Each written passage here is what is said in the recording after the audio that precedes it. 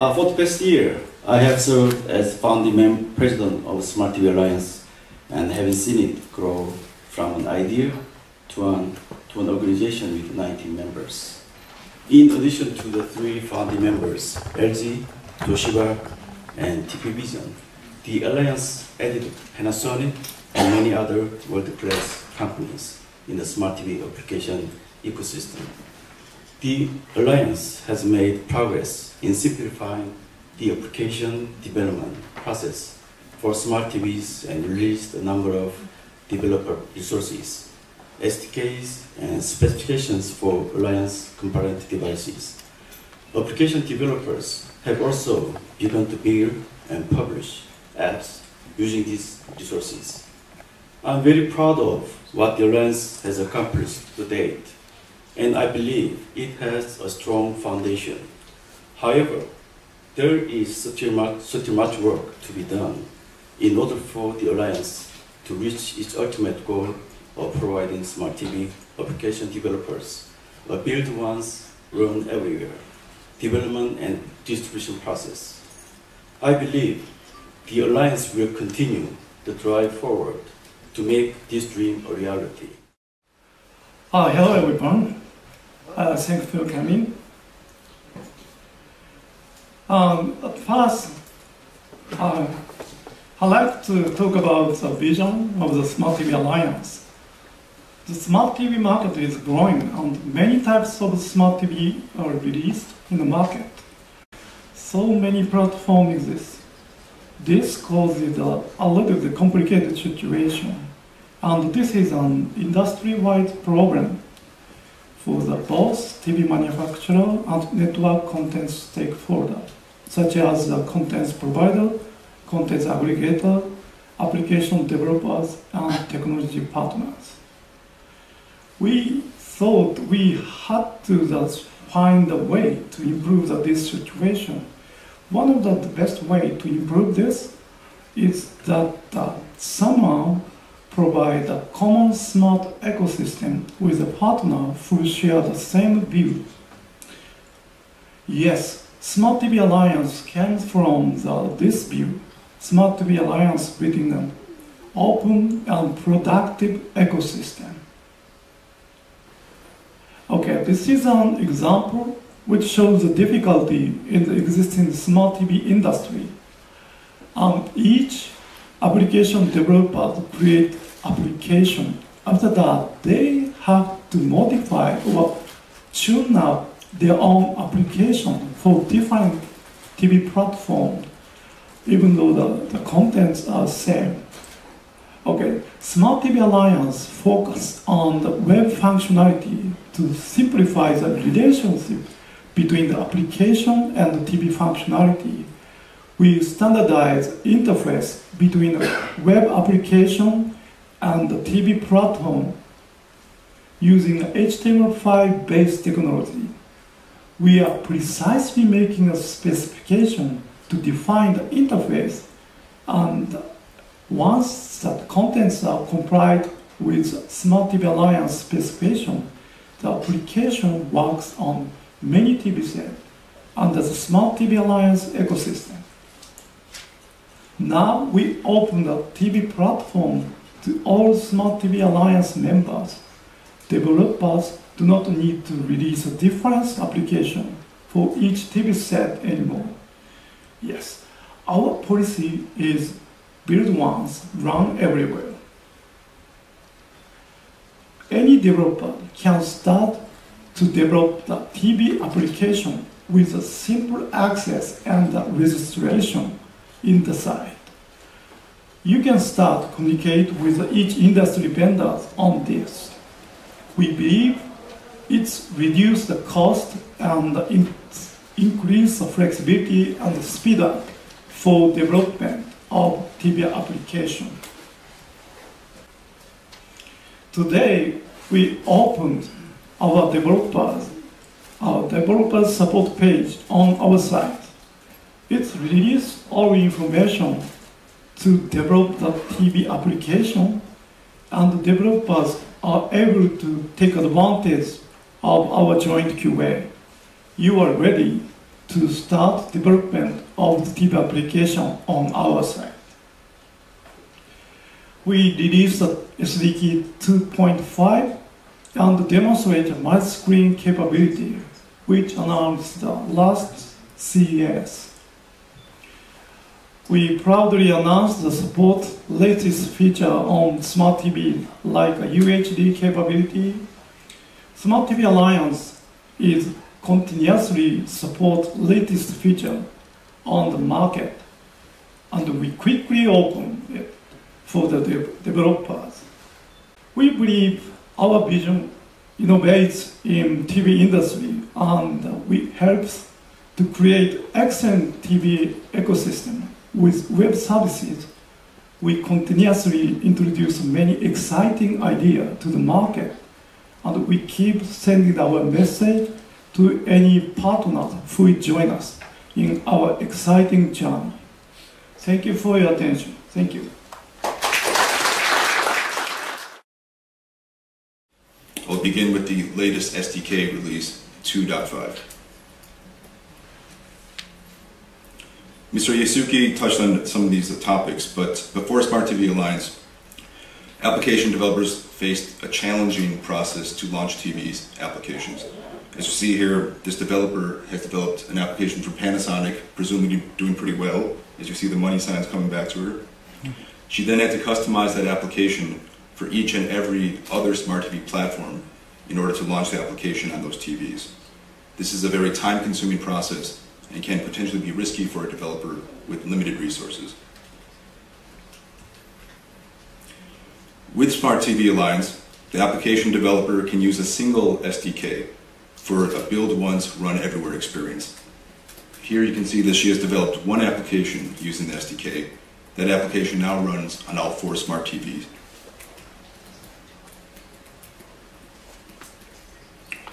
Today we're very pleased to announce the release of SDK 2.5. It shares common features with previous SDKs that we've released, such as 2.0, and it enables applications to run on specification 2.5 Alliance compliant devices. Spec 2.5 was released earlier this year in May, and compliant devices from various manufacturers in the Alliance are becoming available today. 2.5, much like earlier versions, includes developer resources for the entire development process, including Eclipse independent development environment support, a TV emulator, Alliance spec compliance check tooling, and developer documentation. The SDK can run on current and recent versions of Mac OS, Windows, and Ubuntu. Spec 2.5 is already available, and SDK 2.5 has just been released. Developers can visit our newly updated developer portal at developers.smarttv-alliance.org for more information and to download the SDK.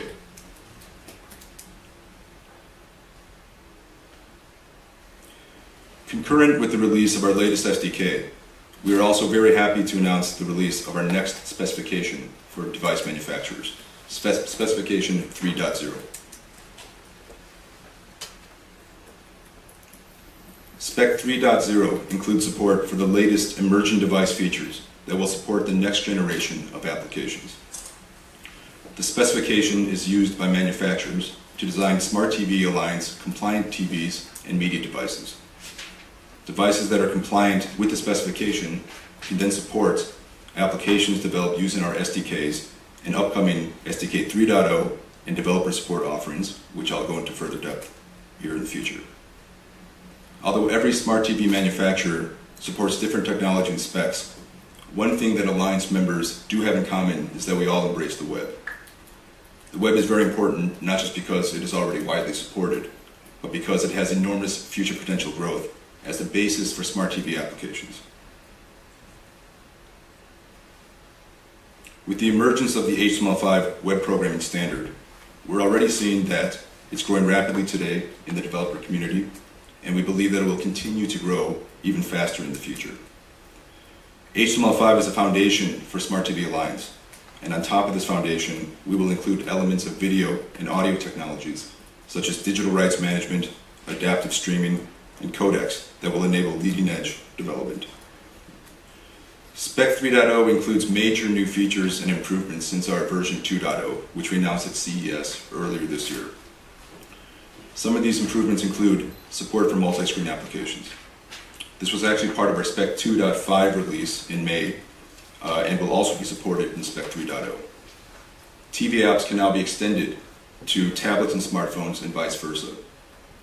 This opens up a wealth of new opportunities for developers who can take advantage of the small screen and the large screen and the interaction between the two form factors. Spec 3.0 also supports Ultra HD. The specification includes a common platform for ultra high resolution 4K video services. 3.0 will also support a smart home. In January of 2014, the Alliance will publish a new specification for smart home. Smart home is a communication protocol that is used for the interconnectivity of devices in the home. Application developers will be able to use an upcoming SDK for smart home in order to build applications that connect between devices in the house. And last but not least, HTML5 updates. The spec has been updated to include the latest state-of-the-art open standards from the HTML5 community, keeping pace with the quickly evolving web application market requirements.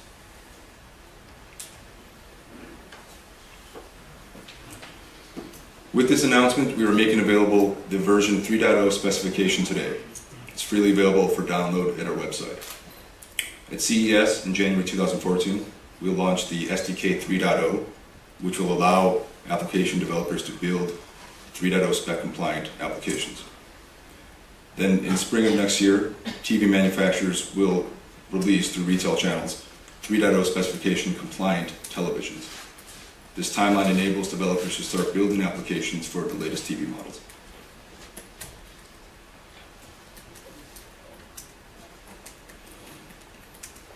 Now I'm very happy to introduce our new developer support program, which may be the most important announcement we're making today. This is a first of its kind developer support program that goes far beyond the standardization of specifications and SDKs. The core of this program is an integrated QA process, whereby application developers can develop one application and submit that one application to a joint QA process for certification across multiple Smart TV Alliance compatible devices. This program collapses the individual manufacturer-specific QA processes into one single process, greatly reducing developer costs and time to market. This is the natural next step in our evolution to provide developers with a build once, run everywhere reality. The current situation application providers face is quite challenging. Each manufacturer has similar steps in their QA process, but each has its own specific requirements. The general requirements can be bucketed into technical requirements and business requirements. Technical requirements can include questions such as, is the app performing well on this particular TV? Business requirements might include aspects of that specific TV manufacturer's requirements, such as, does it adhere to UX guidelines that are mandatory for that TV? The end result is that previous to today, a single app must go through four different QA processes for each of these four TV vendors, each one having its own specific requirements. This is time consuming, costly, and for a developer with limited resources, may be risky as well. With today's announcement, we are fundamentally changing the QA paradigm. The previously redundant and OEM-specific QA cycles across the four OEMs becomes a single process. The aligned specifications and SDKs enabled one application to be developed for the multiple TVs. Now, the four separate QA processes that would have been necessary afterwards are collapsed into one single QA process, with one single app validation report, one single point of contact for QA, and single, single source of real-time support from Smart TV Alliance. This integrated development and QA process enabled by the Alliance greatly simplifies the go-to-market process for app developers in a very fragmented device world. Developers can now focus on the quality of their content and the quality of their applications, and less on the complicated process to launch those applications across multiple TVs. The developer support program is available now. Developers can access the developer portal site to receive more information and start the application submission process. With the developer support program, launching an app on compliant TV devices is comprised of five steps. I won't go into detail on each step here. There's a developer event later today if people want more information. Uh, but in general, it is very, it should be a very familiar process to application developers. The first step is registering the app. You can go to our portal to do that. Second is downloading the SDK, developing the actual application. Third is using our self-check tools to do self-testing in addition to an app description form. That is used to submit the app to our validation process, which is our new joint QA process. If all goes well, the application is then released across the four TVs.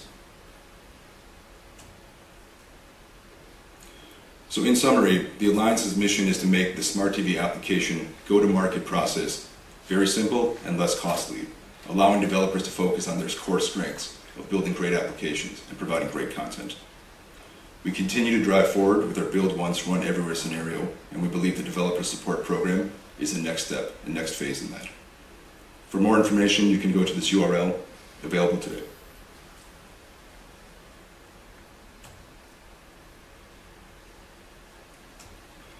Lastly, I'll talk a little bit about the roadmap. This probably looks familiar, I touched upon this in the specification 3.0 section, but um, in general, our yearly timetable is to release specifications for devices at IFA.